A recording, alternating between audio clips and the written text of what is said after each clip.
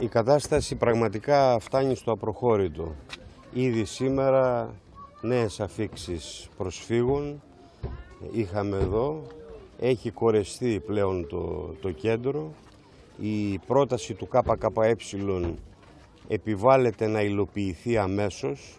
Δηλαδή πρέπει να υπάρξει άμεσος απεγκλωβισμός αποτυχίο από όλα τα νησιά μας και από τη χώρα μας των προσφύγων, των μεταναστών να γίνεται γρήγορα οι διαδικασίες χορήγησης ασύλου μέσα πολύ συνοπτικές διαδικασίες επαρκής αλλά γι' αυτό χρειάζεται και το απαραίτητο προσωπικό έτσι ώστε να τρέχουν γρήγορα όλες αυτές οι γραφειοκρατικές διαδικασίες και μετά τη χορήγηση ασύλου για όσους είναι, οι υπόλοιποι σε συνέχεια να οδηγούνται στους τόπους πραγματικού προορισμού τους. Από αυτή τη σκοπιά χρειάζεται να ενταθεί η πάλη μας και μέσα στη Βουλή και έξω από αυτή, με συμπόνια, με κατανόηση και με πραγματική αλληλεγγύη χωρίς ρατσιστικές και απαράδεκτες άλλες εξάρσεις ενάντια στους συνανθρώπους μας που υποφέρουν από πολέμους, από θανάτους, από πείνα, από δολοφονίες στις χώρες τους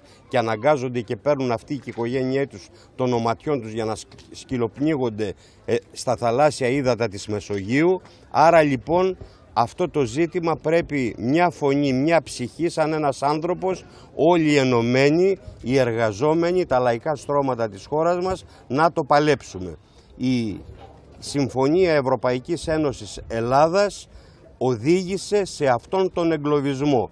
Είναι απαράδεκτη, θα πρέπει να καταργηθεί και θα πρέπει να ανοίξει ο δρόμος που από την πρώτη στιγμή σαν ΚΚΕ βάζαμε το ζήτημα σχετικά με το πώς πρέπει να επιληθεί το προσφυγικό ζήτημα.